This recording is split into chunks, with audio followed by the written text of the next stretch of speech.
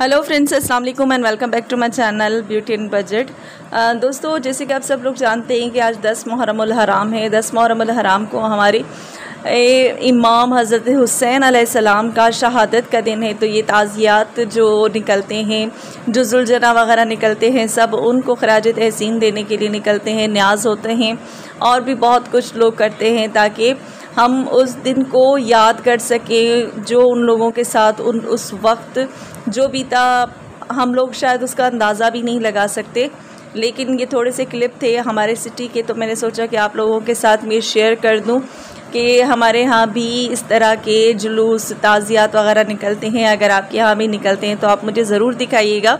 मेरी इंस्टा की आईडी मेरी यूट्यूब चैनल पे शो हो रही है और नीचे डिस्क्रिप्शन बॉक्स में भी आपको आसानी मिल जाएगी। तो ये कुछ ताज़ियात की थी और कुछ जुलझना के तो चलते हैं वीडियो की तरफ़। अच्छा जी दोस्तों आज जो मैं चीज़ आप लोगों की लाई हूँ वो है पोली हेयर कलर। यानी ये क्रीम कलर है ये ये लोग क्लेम करते हैं कि ये हेयर ग्रे जो कवरेज होती है बालों को उसको बिल्कुल ख़त्म कर देता है। बालों को बिल्कुल स्मूथ और शाइन ला देता है नेचुरल कलर है।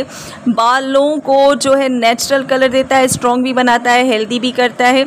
इसमें जो है वो नेचुरल मिनरल्स जो हैं वो इसमें मौजूद होते हैं जो बालों को रूट्स तक जाकर अच्छे तरीके से आ, जो है कवर अप करते हैं। मेरे पास शेड जो है फोर्टी थ्री है। सॉरी शेड डार्क ब्राउन है और कलर जो है 43 है, इसके और भी कलर्स अवेलेबल हैं। अच्छा सबसे पहले मैं आपको बालों की हालत दिखा देती हूँ। ओके जी, ये है बालों की कुछ हालत। इनमें ग्रे कवरेज बालों में बहुत ज़्यादा थी। बाहर से तो इनके बाल बिल्कुल डार्क ब्राउन ब्लैक थे, लेकिन अंदर से इनकी जो रूट्स थी, वो बहुत ज़्यादा डैमेज हो गई थी। तो उन रूट्स को जो है मैंने कलर किया है। बेसिकली मैंने रूट्स को किया है ग्रे कवरेज भी थी और डिफरेंट कलर्स के बाल थे।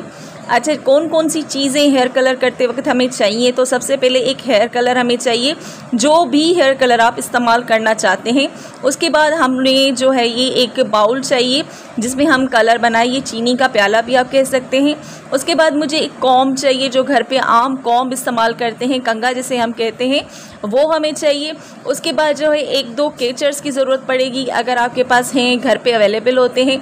एक हेयर ब्रश के लिए, यानी कि कलर को अप्लाई करने के लिए हमें ब्रश की ज़रूरत पड़ेगी। उसके बाद हमें ज़रूरत पड़ेगी ग्लव्स की। ये ग्लव्स जो हैं, आपको मेडिकल स्टोर से आराम से मिल जाते हैं। इस कलर में मौजूद नहीं थे, हालाँकि होने चाहिए थे। उसके बाद मुझे चाहिए एक शावर के। ये भी मार्केट में अवेलेबल है। आप चाहें तो डिस्पोजेबल भी ले सकते हैं। मेरे पास ये थी तो मैंने ये इस्तेमाल कर ली। उसके बाद मैंने इस्तेमाल किया है सरसों का तेल। सरसों का तेल इस्तेमाल कर लें या पेट्रोलियम जेली इस्तेमाल कर लें। ये it's totally up to you अच्छा जी, अब आगे बढ़ते हैं और देखते हैं कि हमें जो प्रोडक्ट दिया है, उस प्रोडक्ट में है क्या। इस प्रोडक्ट में हमें मिलती हैं दो इस तरह की साशे एक में क्रीम है, एक में ब्लांडर वगैरह है और उसके साथ एक बहुत बड़ी डिस्क्रिप्शन मिलती है। डिस्क्रिप्शन में हर चीज़ मेंशन है, किस तरह से कलर की, किया जाए, कब तक रखा जाए, इसमें कौन कौन से शेड हैं, एहतियाती तदाबीर, हर चीज़ इसमें मौजूद है। कलर बनाने का रेशो जो है, वो सेम ही होता है। जितना आपको कलर लेना होता है, उसके साथ डेवलपर भी जो है उसी मकदार में लेना होता है। लेकिन मैंने थोड़ा थोड़ा करके इसमें जो है वह डेवलपर में ऐड करती रही थी।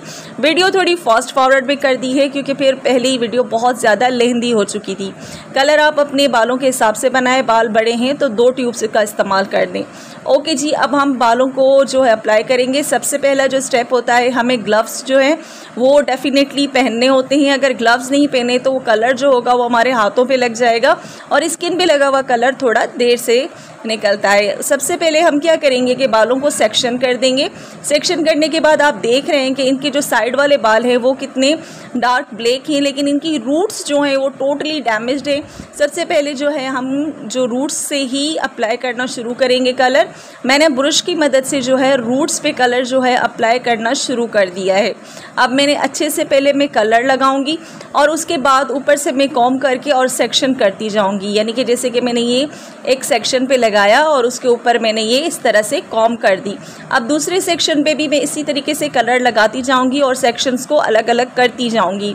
अगर ये ही एक जो है प्रोफेशनल तरीका है और अच्छे से कलर लगाने का इससे ज़्यादा और कोई भी तरीका नहीं होता है। तो आप लोग भी यही तरीका इस्तेमाल कीजिएगा। इस तरह से आपकी रूट्स तक जो है वो कलर अच्छे से पहुँच जाएगा। जब कलर आप देखें, मैं आपको दिखा रही हूँ कि मैंने जो पूरा कलर है वो अप्लाई कर चुकी हूँ। उसके बाद जो है मैंने इसको अच्छे से पूरे जो सर था उसको जो है कर लिया था कंगा पीछे के जो कलर बच गया था मेरे से वो मैंने पीछे के बालों को और ऊपर के बालों को जो है वो थोड़ा बहुत लगा लिया था, ताकि जो है हल्के फुल्के बाल अगर ऊपर से भी रह गए हों तो वो टोटली सही हो जाए। और उसके बाद जो नीचे वालों हमारा हिस्सा होता है बालों का, उस पर भी जो कलर मेरे पास रिमेनिंग था, इतना ज़्यादा कलर तो नहीं बचा था, बाकी जो थोड़ा बहुत कलर बचा था, उसको मैंने जो है नीचे भी रूट्स में भी लगा लिया और नीचे वाले हिस्से में भी लगा लिया। उसके बाद एक टाइट सा जो है बंद बनाकर कैचर लगा दिया। और उसके बाद जो है मैंने शावर के पर जो है वो लगा दी उनके सर पे और उसको जो है थर्टी मिनट्स तक मैंने छोड़ दिया, ताकि कलर अच्छे तरीके से लग जाए, ताकि साइड वाइड पे भी कलर ना आए।